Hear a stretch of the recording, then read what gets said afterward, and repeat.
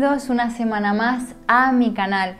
Estoy súper contenta porque creo que este tipo de vídeo ya se va a convertir en una tradición año tras año. Mi nombre es Silvia y subo regularmente vídeos sobre minimalismo, desarrollo personal y también sobre la reforma de mi casa rural. Así que si todavía no estás suscrito, suscríbete a mi canal porque es totalmente gratis, así no te perderás ninguno de mis vídeos y a mí personalmente me ayudas muchísimo. De todos los hábitos que yo voy a mencionar ahora, no quiere decir que los tengamos que hacer absolutamente todos, seguirlos a rajatabla, ni muchísimo menos. Tampoco es más importante el primero que voy a decir y menos importante el número 22. Estos 22 hábitos que yo ahora voy a mencionar son hábitos que he pensado, he reflexionado, que a mí me han funcionado, que con las personas de mi entorno que hablo también les funciona y pienso que era bueno hacer como un resumen de cuáles son esos hábitos que nos pueden ayudar a sentirnos un poquito mejor con la vida en general. Pero esto no quiere decir que haya que hacerlos todos sí o sí, que si no haces uno, el resto ya no funcionan, ni muchísimo menos. Se trata de coger ideas, de coger inspiración, de motivarnos y de ir cogiendo esos hábitos que sí que podemos implementar según nuestra vida, nuestras circunstancias. Aquí se trata de que cojas buenas ideas, de que te quedes con esos hábitos que tú sepas y sientas que tú necesitas y vayas allá. Puedes hacer los 22 hábitos, puedes hacer uno o incluso puedes hacer 22 hábitos más de los que yo ya digo. El primero considero que es de los más importantes, al menos para mí en función de cómo yo me he ido sintiendo también este año, y es que reduzcas el consumo, el uso de tu teléfono móvil. Y esto es tan sencillo como marcarnos unos tiempos, unas horas concretas al día para poder utilizarlo, no tenerlo siempre delante, siempre encima y estar disponibles para todo el mundo a cualquier hora del día. Otra de las cosas que a mí me ha funcionado mucho con el teléfono móvil es decirle a todo el mundo que no estoy disponible. Si me mandan un WhatsApp y no les contesto al momento o incluso si me llaman y no les cojo el teléfono, que no se molesten, que ya lo haré cuando pueda pero que no estoy disponible de manera inmediata, que parece que esto es algo que se ha creado con el teléfono móvil, la disponibilidad inmediata y parece que si no estás disponible para todo el mundo al momento que te escriben, ya puede haber motivos de enfados y de confusiones y paso de todo esto. El segundo hábito que te voy a recomendar es salir cada día a pasear antes o después de comer. Esto es algo que yo he implementado, me funciona muchísimo. Cada uno aquí que se organice según su horario, pero salir a caminar es súper beneficioso para nuestras piernas, para nuestros músculos, nuestro corazón y además también para nuestra mente. El tercer hábito que te voy a recomendar es escribir un diario de gratitud pararnos cada día un minuto o dos minutos, simplemente coger una libretita y empezar a escribir todo eso que a lo que sí que estamos agradecidos de la vida, que son muchísimas cosas. Cosas tan básicas como agradecer eh, la ropa que llevamos puestas, tener electricidad en nuestra casa, tener agua, em, haber comido, eh, una conversación con nuestra familia, poder abrazar a nuestra madre, son esas cosas que a veces son pasajeras, que no duran para siempre y mientras las estamos teniendo no nos damos cuenta de lo valiosas que son. Escribirlo, porque cuando plasmamos las cosas por escrito es cuando nos damos todavía más cuenta de ello. El cuarto hábito lo digo un sinfín de veces y es practicar la meditación. La meditación puede ayudarnos muchísimo a calmar la mente, a aprender a relajarnos, a descansar mejor, a simplemente parar de esta locura a la que a veces estamos inmersos. Quinto, tiene que ver ya con lo que he dicho antes, practicar ejercicio.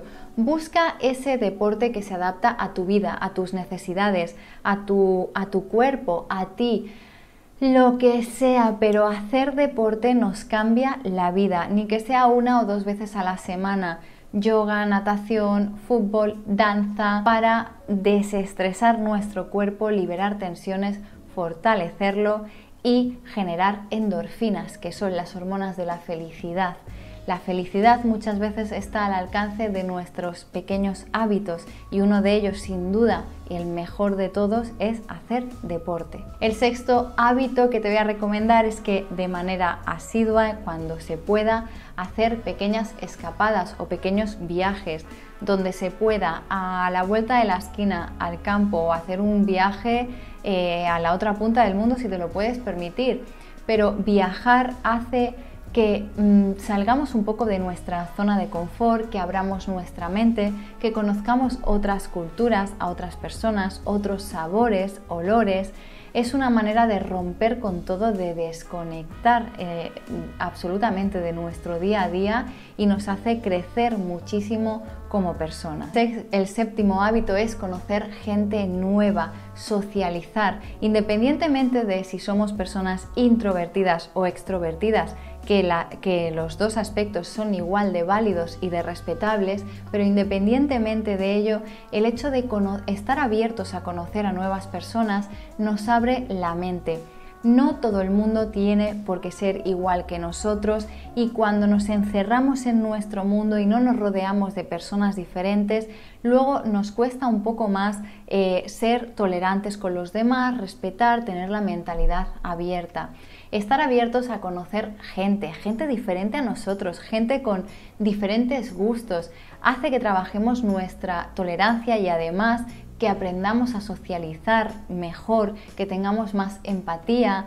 Y estar rodeados de personas como seres sociales que somos siempre nos va a aportar cosas positivas, siempre nos va a ayudar a aprender y es súper bonito compartir momentos con los demás, es algo que ¿Qué, cosas hay mejores que estas en la vida, ¿no? Que compartir con los demás. Número 8 es estar abierto también a probar cosas nuevas. Por ejemplo, atrévete a probar comida que nunca has probado, a leer libros que hasta ahora pensabas que no eran de tu agrado, a escuchar música diferente a la que estás acostumbrado a escuchar o incluso a practicar un hobby o un deporte que hasta ahora no habías practicado. Y esto puede activar que suba muchísimo tu autoestima, porque es una manera de conocerte, de ponerte a prueba, de conocerte aspectos de tu vida que hasta ahora no te conocías y a lo mejor te sorprendes con muchas cosas que hasta ahora creías que no se te daban bien o que no eran para ti y cuando te pones a ello te das cuenta de que hay todo un mundo ahí esperándote con muchísimas alternativas que ni siquiera tú mismo sabías que estaban hechas a tu medida. El hábito número 9 es que si te lo puedes permitir, acostúmbrate a despertarte sin el ruido del despertador. Y si no te lo puedes permitir porque eres una de esas personas que no se despierta de manera natural, al menos inténtalo los fines de semana no ponerte ningún tipo de alarma y despertarte por ti mismo con la luz natural del día. El hábito número 10, ir a terapia, ni que sea de vez en cuando, alguna vez ah, en la vida buscar un terapeuta profesional cualificado como es un psicólogo que pueda ayudarte a ver las cosas de otra manera, que te dé herramientas para manejar tus emociones. Ir a terapia a veces es un tabú, pero es una de las mejores inversiones que podemos hacer en nuestra vida. Hábito número 11. Despierta tu creatividad. Márcate ni que sea un ratito cada semana a potenciar tu lado más creativo, tu lado más artístico.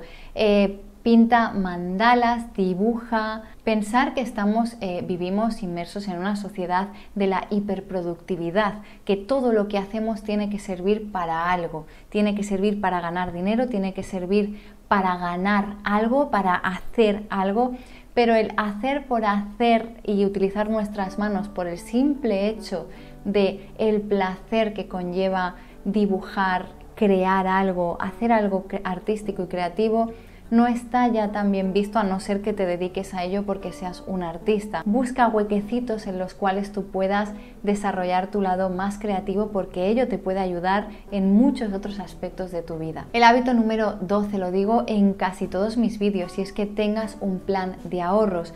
Ten muy clara cuál es tu economía y empieza a pensar de qué manera puedes ahorrar. Y si no puedes ahorrar generando más ingresos, seguro que puedes buscar la manera de tener menos gastos en tu día a día. Número 13, estar continuamente en contacto con la naturaleza estar rodeada de naturaleza, de tierra, de árboles, de campo, de cielo, de animales, de mar, de ríos, de montañas, siempre es una buena opción. Número 14 y de los más importantes, cuida tu alimentación, come bien. Y comer bien es súper sencillo.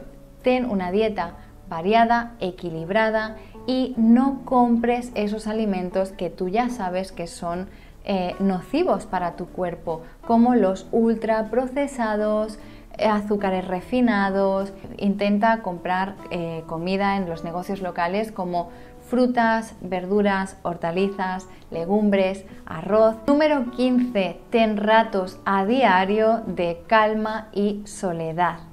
Aunque seas una persona increíblemente extrovertida, tener tu ratito cada día de silencio, de paz y de soledad en el que no hables con nadie, no estés con el teléfono móvil, sino que estés contigo mismo o contigo misma, te pueden ayudar a ver las cosas con más perspectiva, a tener más calma mental. Pienso que es totalmente necesario estar cada día un ratito a solas con nosotros mismos. De hecho, es muy importante porque tenemos que aprender a estar a solas con nosotros y que estemos a gustísimo, no necesitar de los demás para ser o estar felices. Número 16. Marcarnos micro objetivos alcanzables para mantenernos eh, motivados. Muchas veces nos marcamos grandes objetivos que se pueden conseguir a medio, largo plazo y a veces cuando los vemos tan lejanos esto nos puede desmotivar bastante, pero cuando nos marcamos microobjetivos que son pequeñitos, que son muy alcanzables, que nos los marcamos a nivel diario o a nivel semanal y los vamos consiguiendo, nos puede ayudar a motivar muchísimo. Y no olvidéis que las grandes metas, los grandes sueños, los grandes objetivos solo son pequeñitos pasos mantenidos en el tiempo. Número 17, y este os lo aconsejo como psicopedagoga que soy, estar continuamente en un proceso de aprendizaje. Estudia, aprende, ten la mente totalmente receptiva al aprendizaje.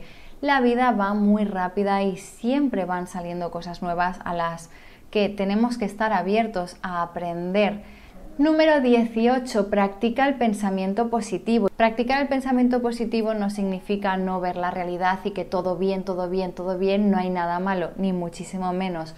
Podemos ser realistas, pero tener un discurso interno empoderado de fuerza y de optimismo. No ser agoreros con nosotros mismos ni ser agoreros con los demás. Practicar el pensamiento positivo es tener una versión amable hacia nosotros mismos y hacia los demás. Si hay alguien que te, te molesta por algún motivo, que no te cae bien o alguien te ha hecho daño de alguna manera, no seas un borde y un estúpido. Di las cosas bien, con amabilidad y con asertividad. Es bueno aprender a ser un poquito amables con el mundo en general y no ser una persona vinagre de estas que todo el mundo te mira como con miedo a ver qué puñas sacas por la boca, sino se puede decir las cosas de manera clara, concisa, pero desde el respeto. Número 19. Prioriza tu tiempo. Tu tiempo es lo más valioso que tienes, es lo mejor que tienes. Intenta economizar tu vida para que tu mayor premio y tu mayor tesoro sea tiempo libre para ti. Número 20. Ayuda a los demás, sé generoso. Muchas veces estamos inmersos en nuestro propio ombligo y no vemos más allá de nuestras narices y siempre van a haber personas, animales, situaciones que requieran de tu ayuda y seguro que tú de alguna manera puedes ayudar, aunque sea con pequeñas acciones. Número 21, de los más difíciles, pero de los más necesarios, enfréntate a tus miedos, no te acomodes, no te quedes escondido en tu zona de confort y todo aquello que te dé miedo, vete enfrentando de manera gradual para hacerte más grande, para que tu mundo sea grande y no cada vez más pequeño. Y número 22, vivir como queramos vivir, buscarnos la vida a nuestra manera, tener una vida acorde a nuestros valores, a nuestros ideales.